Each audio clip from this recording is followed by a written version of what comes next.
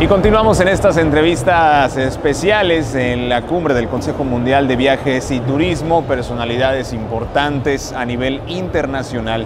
Y en esta ocasión me da mucho gusto poder platicar con Demetrio Tuazon.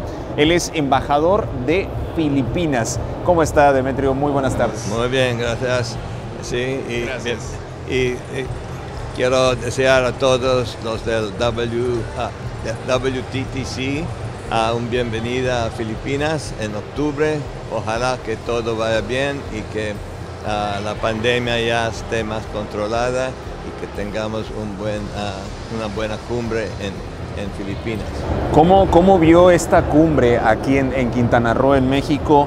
¿Cómo se vivió? ¿Cuál fue su perspectiva? Es bonito ver que toda la gente se puede juntar otra vez, ¿sabes?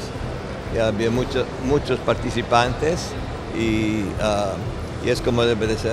Así, así. Para, para Filipinas, ¿qué significa que el siguiente año se lleve a cabo este importante evento allí en su país? No, el- el- el siguiente, la siguiente cumbre va a estar en, en Manila el 21 de octubre, creo, ¿no?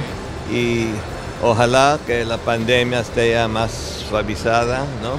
Y que podamos tener una- la, la- el cub- la cumbre sin muchas restricciones, ¿no? La economía de Filipinas también fue afectada Muy por la pandemia. También muy afectados. Hoy, ¿cómo va la recuperación económica en el país? Bueno, ah, nuestro presidente tiene unos ah, proyectos de Public Works, como no lo puedo decir en, en español, pero este muy, muy, muy expansioso, ¿no? Ah, y, y yo creo que esa parte de- de- de- del programa del presidente va, va a ayudar mucho al país, ¿no? Y va a emplear a más gente, pero de momento hay tantas restricciones que un poco de dificultad poder llevar a cabo todos los proyectos. Algunos proyectos se han atrasado un poco. sí.